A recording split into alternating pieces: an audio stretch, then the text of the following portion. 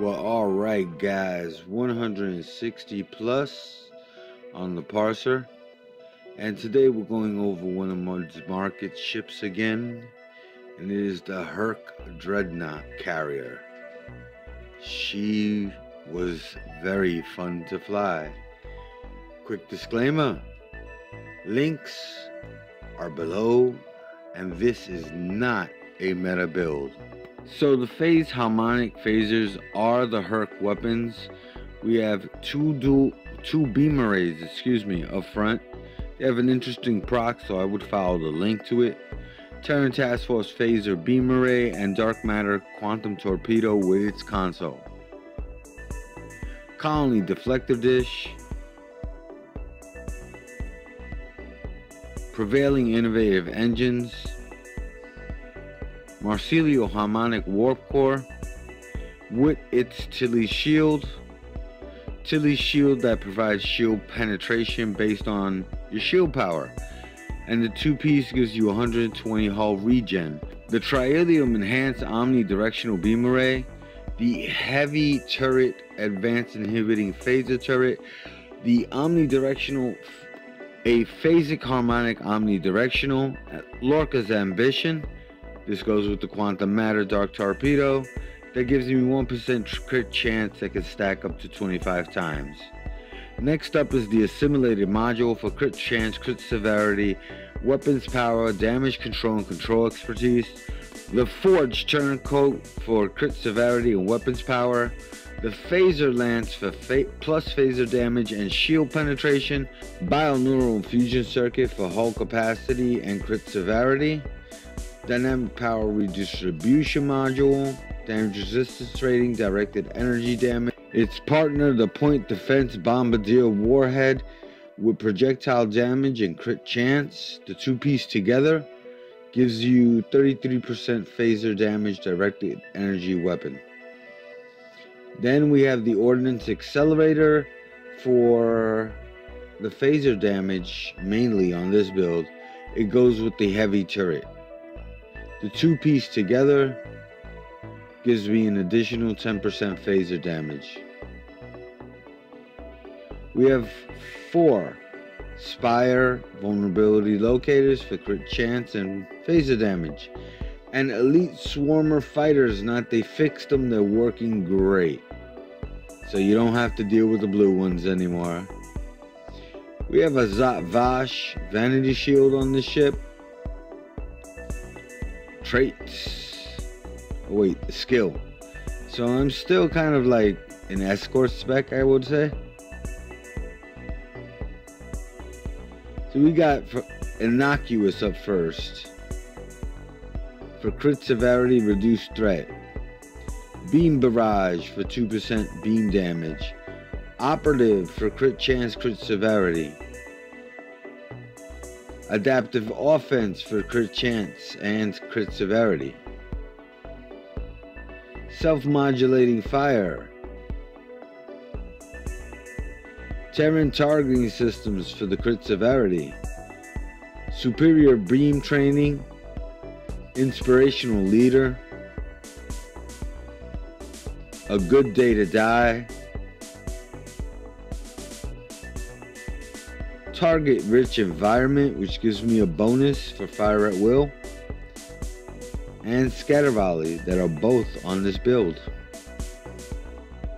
Withering barrage, entwined tactical matrix, the runes of our enemy. Remember, you gotta get the last shot in to get this buff. Best Hope of the Empire, bonus damage and 50,000 temporary hit points. Weapon emitter overdrive for its accuracy and crit chance. Advanced targeting system for crit severity. Enhanced armor penetration. Enhanced shield penetration. Omega Graviton amplifier. And to help out with cooldowns, chrono capacitor. The only special thing here is that I use concentrated firepower for my high yield three.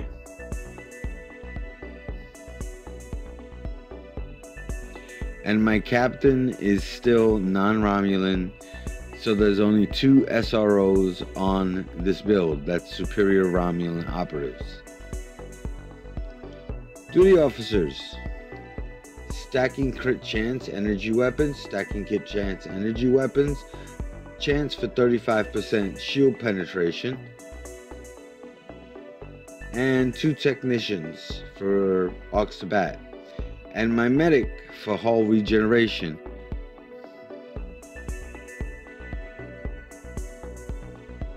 So, I mean, not much more I can say. It was pretty fun to fly, and I'm normally like against big ships. I'm just not good with them.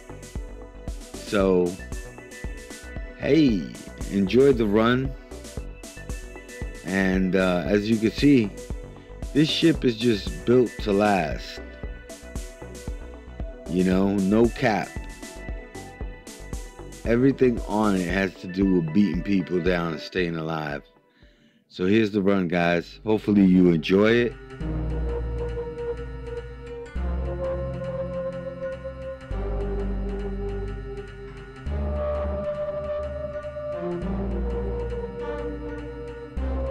See, the one great thing about doing a broadside build, it's not the highest DPS you could do, right? But you just knock everything out.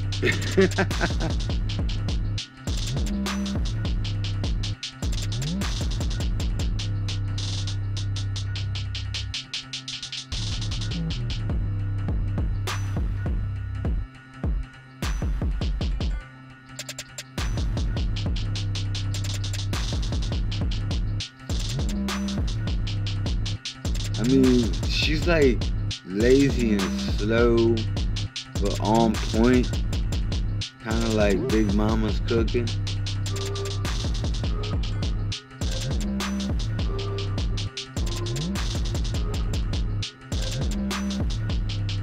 And those of y'all that are ghetto fab understand what I mean by Big Mama's cooking. Because Big Mama don't move for nobody she gets it all done at her speed when she wants to. And it's kind of like the vibe you get from flying this ship.